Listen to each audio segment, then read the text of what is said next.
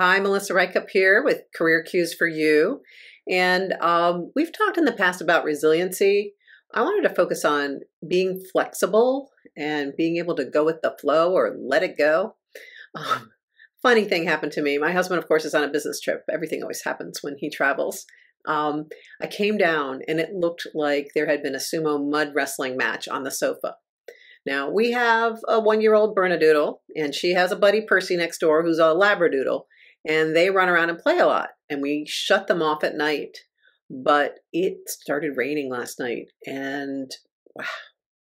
So you know you can get mad but come on the dogs were having fun and it was sort of hilarious and yes i took pictures and shared it with my friends and family but i decided i was just going to turn on some fun music and start wiping it down and rubbing it off with the towel to dry it and then i set up a fence so they can't get on there for the rest of the rainy day so, what can you change? What can you embrace? And how can you go with the flow so that you have a better day and don't hang on to that frustration, frustration and anger?